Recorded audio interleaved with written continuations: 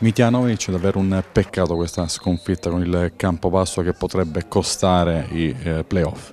Sì, sì, perché noi abbiamo fatto una bella partita, non meritavamo di perdere, ma è andata così e adesso sono rimaste tre partite dove possiamo ancora sperare.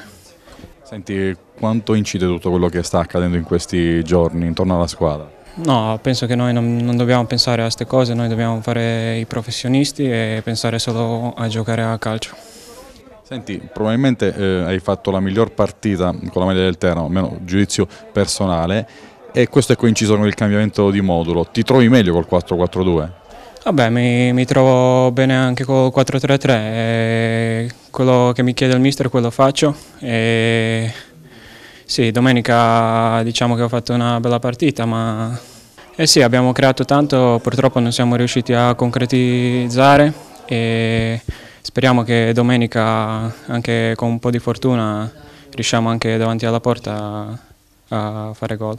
Senti, sai che il derby è molto sentito no? a livello di tifo, eh, poi insomma sono due città eh, vicine, Teramo e L'Aquila, insomma playoff o no, questa è una gara da giocare bene.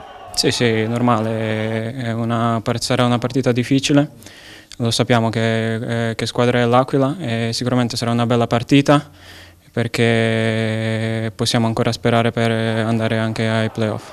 Tu quante probabilità dai al Teramo di centrare questo sesto posto che sembra davvero difficile? Eh, finché c'è speranza noi faremo di tutto per, per andare ai playoff.